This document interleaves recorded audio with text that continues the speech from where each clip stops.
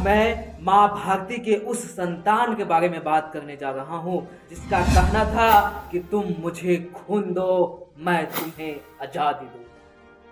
स्वतंत्र संग्राम के अग्रणी और सबसे बड़े नेते, अंग्रेज़ों को छक्का छुपाने वाले अमर सेनानी, जिनकी एक आहट से दुश्मनों की धरती काँप उठते थे, खून कहो किस मतलब का, जिसमें उबाल का नाम नहीं, वो खून कहो किस मतलब का जो आ सके देश का काम नहीं। वो खून कहो किस मतलब का, जो जवानी ना रवानी है। बकवास होकर बहता है, वो खून नहीं, पानी है। उस दिन लोगों ने सही सही खून की कीमत पहचानी थी। जिस दिन नेताजी ने वर्मा में उनसे मांगी कुर्बानी थी।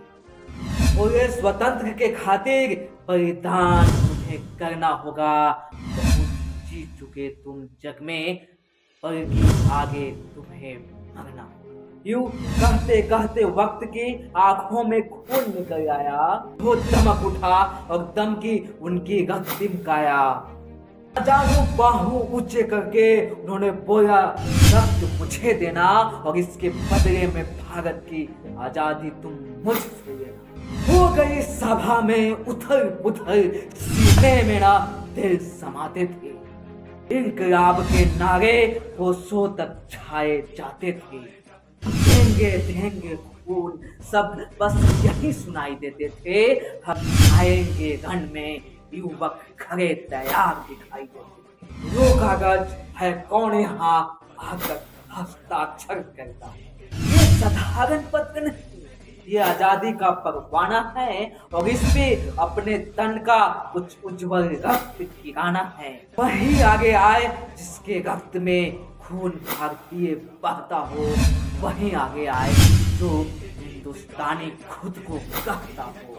आगे आए जो इस पर खूनी हस्ताक्षर करता हो। अब जनता हूँ थे हम आते हैं, हम आते हैं। माँ के चरणों में हम अपना खून बहाते साहस से बढ़े युवक, उस दिन देखा बढ़ते ही आते थे। चाकू छुरी कटोरियों से अपना रक्त गिराते थे।